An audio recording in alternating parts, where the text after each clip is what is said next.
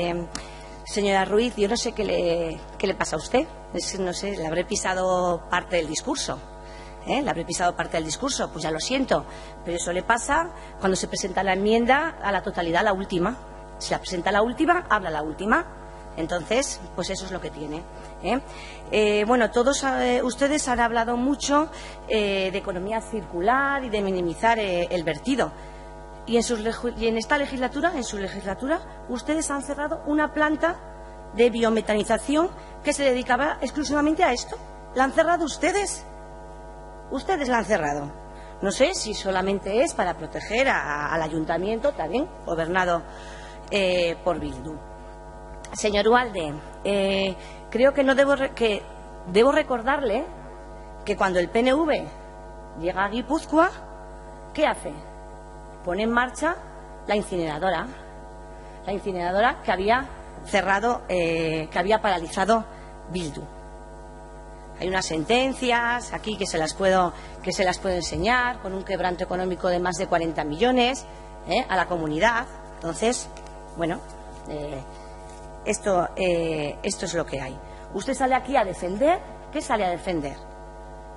¿Una ley con incineradora como la del PNV en Guipúzcoa o sale aquí a defender una ley de residuos modelo Bildu?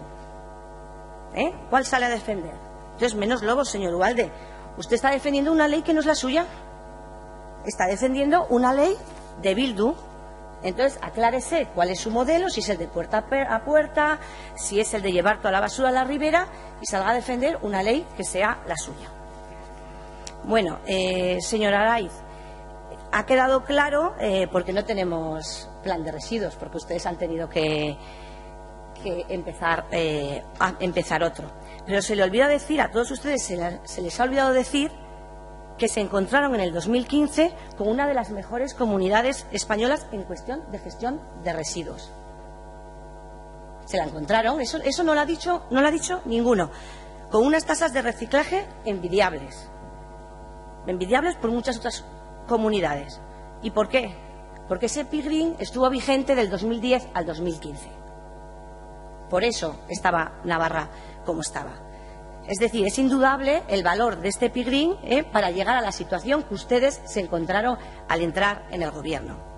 No creo que haga falta tampoco, pero bueno, lo voy a hacer, señora Ley, decirle que la sentencia solo le da la razón en dos cuestiones. En dos cuestiones de ocho.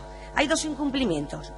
Uno es porque se pasa el plazo al emitir la declaración de incidencia ambiental, pero esto fue por ampliar el plazo de participación pública, de la que el señor Gualde ha sacado tanto pecho, la participación. Pues nosotros, por dar más participación, ese es uno de los motivos por los, por los que. Sí, ese fue uno de los motivos. Y el segundo es porque no se especificaba el punto exacto de la incineradora, la cual ya se había descartado desde el año 2014. Estaba totalmente descartada. Pero es que ahora, como la ley lo permite, ustedes no han especificado absolutamente ningún lugar para un vertedero que se va a necesitar, ni para una planta de tratamiento que también se va a necesitar. Entonces, señora Aray, si era tan prioritario especificar la zona donde, iba a- donde se iba a poner eh, una incineradora que luego se descarta, ahora también es. Ahora sí, claro, como la ley no lo dice, pero bueno, lo que, lo que vale para una, vale también para, para esto. Pero ya lo dije en comisión. Este Gobierno no va a especificar ni un lugar eh, antes de las elecciones del 2019. Se van a quedar quietos en la mata, ya lo, ya lo dije. Ya lo dije, señora consejera. Bueno, y en cuestión de residuos, también recordarle, señora Araiz, que poco ejemplo nos tiene que dar Bildu, eh, Bildu en esto. En Guipúzcoa, cuando estaba al frente de la gestión de residuos, ocasionó, como digo, un quebranto de más de 40 millones de euros. Y además ha quedado aquí bien claro que ustedes son los del puerta a puerta. Y también ha quedado bien claro que ustedes quieren enterrar la basura en la ribera. Pues para eso no cuenten con UPN. Nosotros no vamos a consentir que la ribera sea el basurero de toda, de toda Navarra. Y bueno, pasando al informe del Consejo de Navarra. Eh, se ha hablado de que nosotros nos lo. Pues yo sí que, he intentado hablar del mismo y el informe deja bien claro que han sido el impuesto, el ente público, el fondo de residuos, los temas que más interés han tenido en el proceso de participación.